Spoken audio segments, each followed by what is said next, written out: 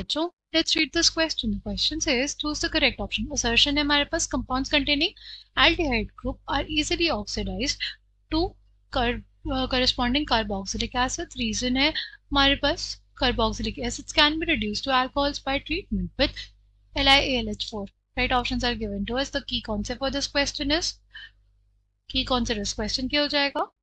Carboxylic acids right ऐसे species जिसमें हमारे पास क्या हो? C double bond O single bond O H लगा हो। ऐसी स्पीशीज को हम लोग क्या बोलते हैं? कार्बोक्सिलिक एसिड्स ठीक है? फिर हमसे पहले असर्शन में क्या बोला है? असर्शन में बोला है कि अगर हमारे पास R C H O right ये इजिली ऑक्सीडाइज किए जा सकते हैं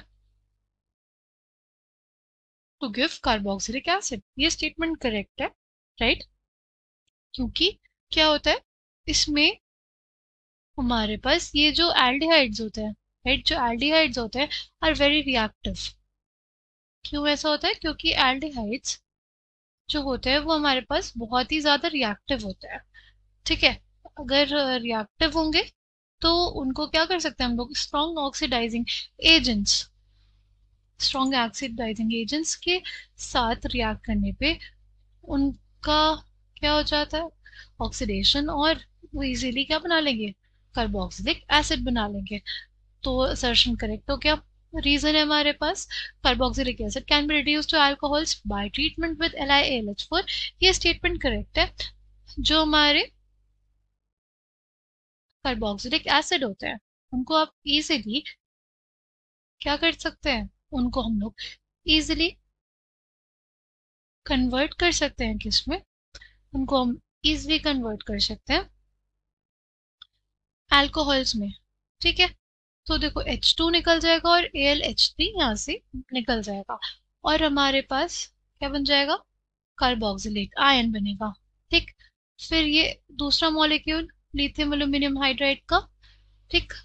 उसमें से ये एक H है तो जाके इस कार्बोनिल सेंटर पे अटैक करेगा ये इलेक्ट्रॉन डेंसिटी को, जैसे मूव करेगी। तो बेसिकली हमारे पास ये बन जाएगा O minus L I plus इसको स्टेबलाइज करेगा।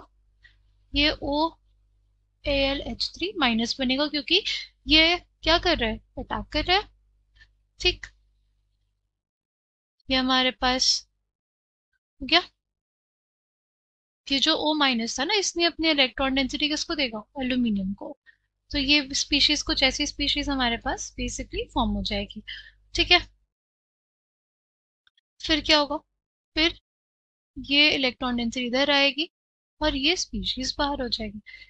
क्या फॉर्म हो गया हमारे पास? एल्डिहाइड और एल्डिहाइड एल्यूमिनियम लिथियम हाइड्राइड के प्रेजेंस पे क्या दे देंगे? अल्कोहल दे देंगे।